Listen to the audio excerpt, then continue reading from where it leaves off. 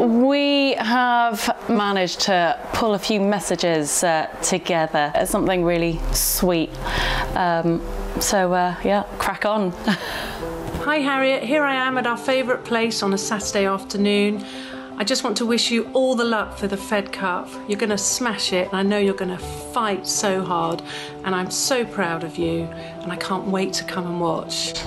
Hi Harriet, I'm just here on my lunch break and wanted to wish you a massive good luck for Fed Cup in Bratislava. I'm so proud of you and I'm really looking forward to coming along and supporting. Go GB! Hello from Wichita. Katie, hi darling, we love you, we miss you. Just wanted to say how proud we are of you for getting selected for the Fed Cup team um, and how proud we are of all of the girls. Just wish you all the very best of luck. We know you're going to smash it out there in Slovakia. We'll be back in the Brits all the way. Love you all loads. Take care, good luck. How many times? Good luck, everyone, and remember, Hev, I'm still waiting.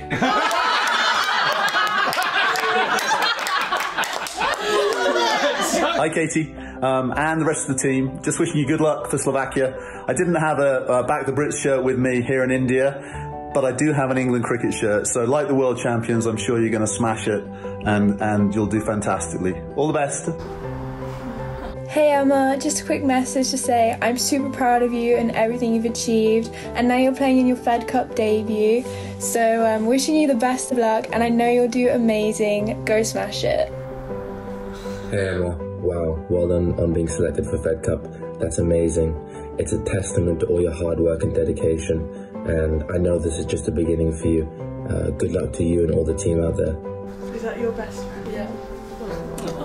the creme de la creme of the court, Heather Watson. We are all so proud of you. We have no doubt that you're going to be bringing all the razzle dazzle and the fire to the Fed Cup. Your gorgeous man is waiting for you at home after all of this, and we are just so proud of you.